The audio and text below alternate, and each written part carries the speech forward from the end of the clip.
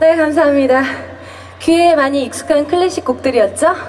네, 저희가 저희 팀이 클래식 퓨전 트리오다 보니까 첫 번째 곡, 두 번째 곡, 세 번째 곡은 클래식 곡으로 선곡을 해봤습니다. 캐논과 헝가리 무고 어떻게 듣기 좋으셨나요? 감사합니다.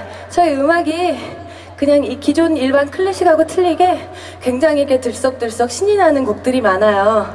네, 이 다음에 또 하는 곡들은 또 귀에 더 많이 익숙한 가요들로 많이 구성되어 있거든요. 그러니까 이제는 일어나셔서 어깨도 들썩들썩 소리도 들으시고 박수도 치시고 춤도 추셔도 아주 좋습니다. 저희 F샵 이제 마지막 곡이니까요. 더 이상 기회는 없습니다. 네. 마지막 곡 젊은 그대 들려드리고요. 인사드릴 건데요. 조금 아쉽다 생각이 드시는 분들은 어, 사정없이 앵콜을 외쳐 주셔도 저희는 상관이 없습니다. 아주 많은 앵콜곡들 있으니까요. 네, 그거 걱정 마시고요. 앵콜 많이 외쳐주세요. 네, 감사합니다. 지금까지 F잡이었습니다.